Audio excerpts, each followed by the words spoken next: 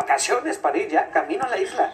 Las marinas de Miami, decenas de personas llegaron con botellas de agua, con víveres al ver las convocatorias en Internet, pero las autoridades dicen que enviar estos botes con víveres podría violar la ley.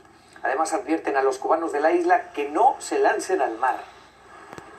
The time is never right to attempt migration by sea. To those who risk their lives doing so, this risk is not worth taking. Allow me to be clear. If you take to the sea, you will not come to the United States. La alerta también es para los haitianos migrantes. Mallorca se advirtió que se ha reforzado la vigilancia en las costas y que no serán admitidos.